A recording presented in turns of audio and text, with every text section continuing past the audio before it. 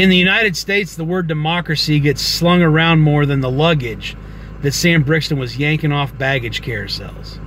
The United States is not a democracy. The United States is a constitutional republic. Look no further than the proof in the founding document. The founders knew that the best way to preserve unalienable rights, natural born rights, rights from God, was through a republic. We hold these truths to be self evident that all men are created equal, that they are endowed by their Creator with certain unalienable rights, that among these are life, liberty, and the pursuit of happiness. That to secure these rights, governments are instituted among men, deriving their powers from the consent of the governed. So, the Declaration of Independence also points out that government's job is not to give rights.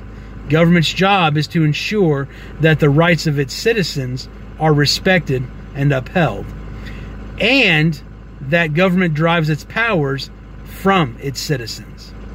Now, a democracy is mob rule. And in Federalist 10, Madison warns against the passions and the impulses of the mob. In a mob rule, the voice, the rights, and the beliefs of an individual may not be heard or considered or even administered unless that is what's best for the group. The mob is universal. Democracy is universal.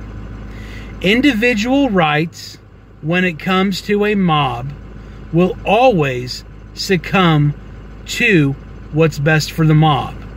And the mob will always supersede what is best for the individual.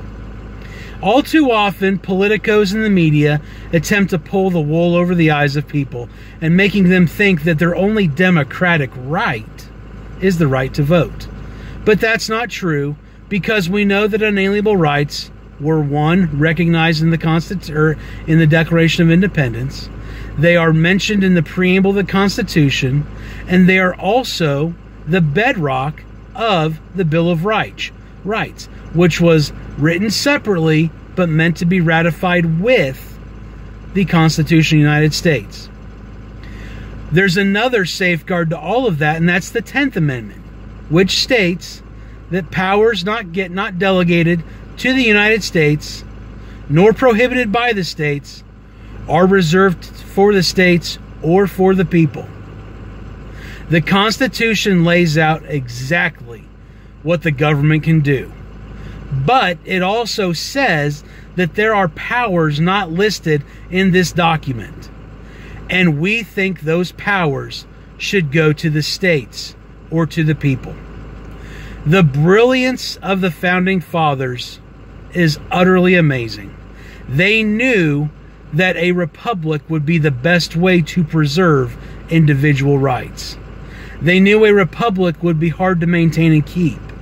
But ultimately, they believed that if they planted a seed of culture here and entrusted the people to carry it on with education, with morality, with faith, that the beacon of the world would always be the United States.